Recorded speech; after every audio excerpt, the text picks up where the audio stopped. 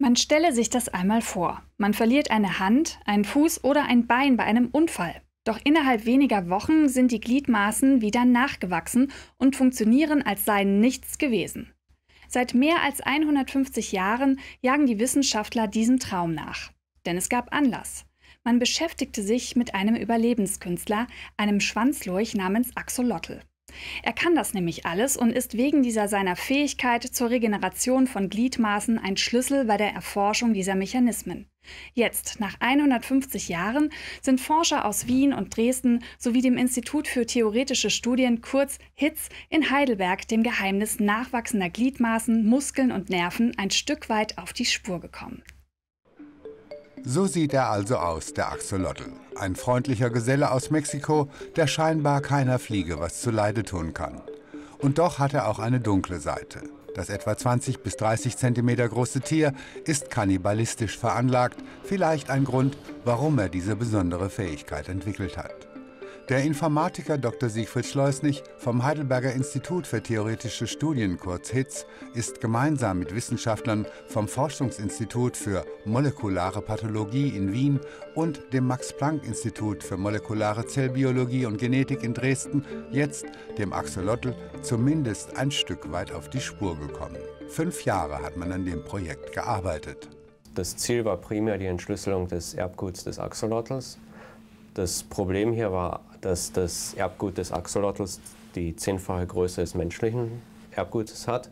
Das alleine sorgt schon für eine ähm, große Komplexität des Problems und auch eine schwere Handhabbarkeit, weil es einfach groß ist. Man kann sich das vorstellen, man hat ein sperriges Objekt, das auf einmal größer wird und es wird einfach immer schwieriger damit umzugehen von einer, von einer rechnerischen Seite aus.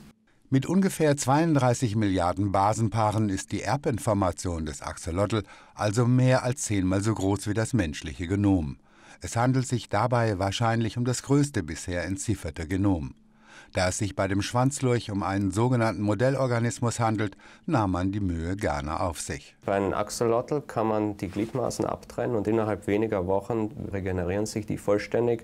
Das heißt, die Knochen, die Blutgefäße, die Nerven, alles wird komplett neu gebaut und es ähm, resultiert dann in ein, eine voll funktionsfähige neue Gliedmaße. Wie das aussieht, zeigt diese kleine Bildfolge, die uns ebenfalls von dem Wiener Forschungsinstitut für molekulare Pathologie zur Verfügung gestellt wurde.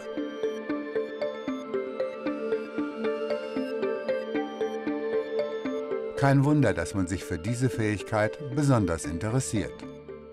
Ultimativ geht es darum, diesen Mechanismus zu verstehen und herauszufinden, ähm, wie viel von diesem Mechanismus in uns noch existiert, dass man dann für für Heilung von, von äh, menschlichen äh, Verletzungen am, am, Menschen benutzen könnte oder wie sehr ist es, äh, dieser Mechanismus auf uns übertragbar wäre.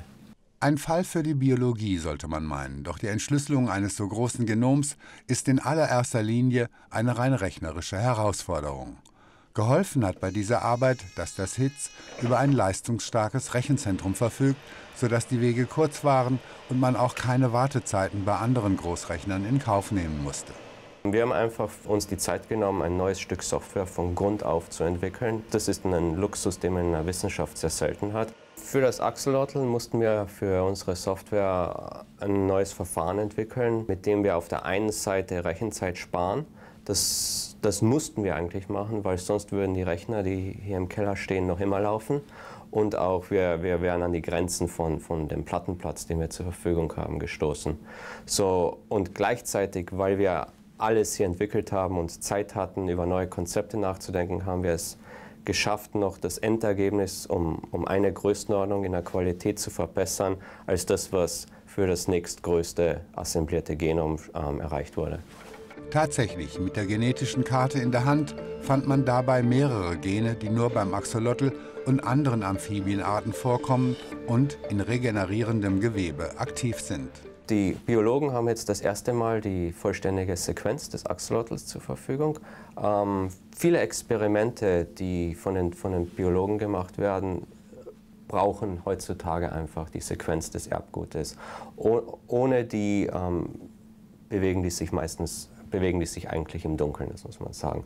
Dadurch ist es jetzt das erste Mal möglich, hier, hier kontrolliert Experimente mit, mit Genen, die von, von denen vermutet wird, dass sie für die regenerative Fähigkeit verantwortlich sind, durchzuführen. Auf die Ergebnisse ist man nicht nur am Hitz gespannt. Man hofft, dass es nicht noch einmal 150 Jahre dauern wird, bis die Forschung die Fähigkeiten des Axolotl auf den Menschen übertragen kann.